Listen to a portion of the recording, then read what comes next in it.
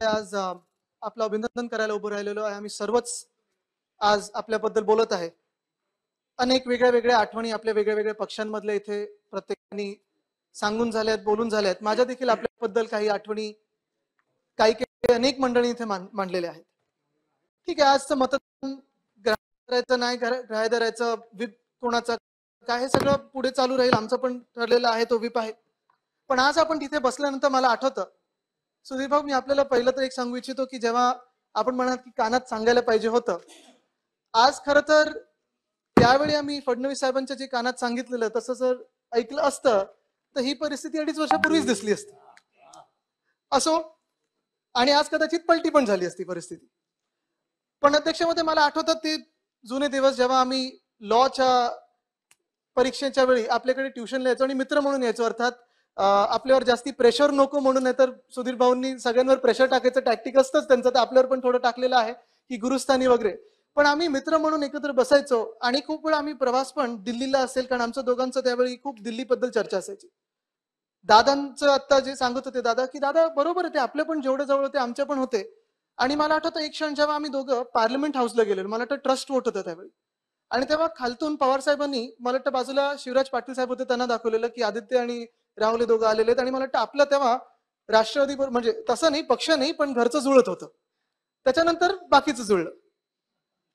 पण दादा मला वाटतं आज जे उपमुख्यमंत्री महोदय आहेत ते एवढे हुशार आहेत त्यांनी राहुलजींना वरती ह्यासाठीच बसवलेलं आहे कारण जी कुरबुर होती ती कदाचित अशी होती की राष्ट्रवादीची जवळीक नको राष्ट्रवादीची जवळीक नको.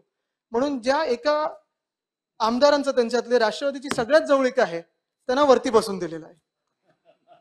त्यांना तिथून हे केलं पण राहुलजी आपल्याला खरोखर सांगतो मला आठवतं त्यावेळी पण आपली गंमत जम्मत चालायची. आता पण खूप वेळा गंमत जम्मत चालायची. आपण इथे बसले असताना लॉबीमध्ये भेटायचं. आणि खूप वेळा जेव्हा आपण टीव्हीवर जायचं मग शिवसेनेतून असो किंवा राष्ट्रवादीतून असो किंवा भाजपमधून असो तेव्हा आम्ही तुम्हाला चिडवायचो की तुमचं वजन वाढलंय जरा बघा आणि तुम्ही बोलायचं नाही कॅमेरा अँगल खालतून आहे तुम्ही खालतून बघता म्हणून वजन वाढलेलं दिसतंय. आज वरती बसल्यानंतर खरोखर असं वाटतं की आपलं वजन वाढलेलं आहे.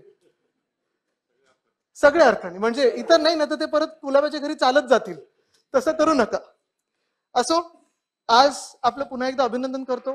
हाच विश्वास व्यक्त करतो की आज आपण ज्या स्थानी बसलेलो आहात कायदा असेल जी काही इथे प्रथा असेल परंपरा असेल आणि प्रति प्रतिष्ठा ह्या तिन्ही गोष्टी म्हणजे बच्चन साहेबांच्या आवाजात ऐकायचं झालं तर प्रथा प्र- परंपरा आणि प्रतिष्ठा तसंच आपण इथे पालन कराल आणि आमच्याकडून देखील पालन करून घ्याल.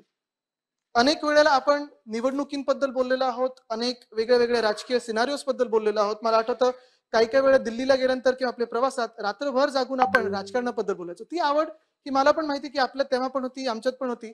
दादा तर तेच म्हणत होते की तुम्ही जेव्हा लोकसभा लढत होतात तेव्हा आपण दुसरं अजून काही मिळेल कुशनिंग काय होईल? तसं आम्ही पण दादा कदाचित आज इथे बस- विधानसभेत बसलेले आहेत.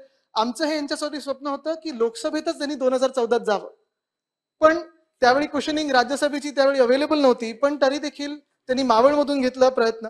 हे सगळं असताना मला वाटतं एक आनंदाची गोष्ट आहे की आज तरुण एक व्यक्ती ह्या महत्त्वाच्या स्थानी बसलेली आहे. तरुणांच्या आशा आहेत अपेक्षा आहेत. राजकारणाची पातळी ही खूप खाली चालली आहे. म्हणजे मी खूप वेळा हे विचारतो की आत्ता जे काही घडतंय या राजकारणात किती तरुण व्यक्तींना उतरावं असं वाटेल? हे तरुणांना पटणार का? आपण मला वाटतं नवीन पायंडा पाडाल ही आपल्याकडून अपेक्षा आहे आणि सर्वांनाच बोलायची संधी द्याल. जो काही महाराष्ट्रातला प्रत्येक आवाज आहे प्रत्येक क्षेत्रातलं असेल प्रत्येक जिल्ह्यातलं असेल तालुक्यातलं असेल शहरातलं असेल गावातलं असेल गल्लीतला असेल हा आवाज इथे ऐकून घ्यावा. ही अपेक्षा आपल्याकडे व्यक्त करतो आणि पुन्हा एकदा आपल्याला अभिनंदन देतो. धन्यवाद. जय हिंद. जय महाराष्ट्र. वंदे मातरम.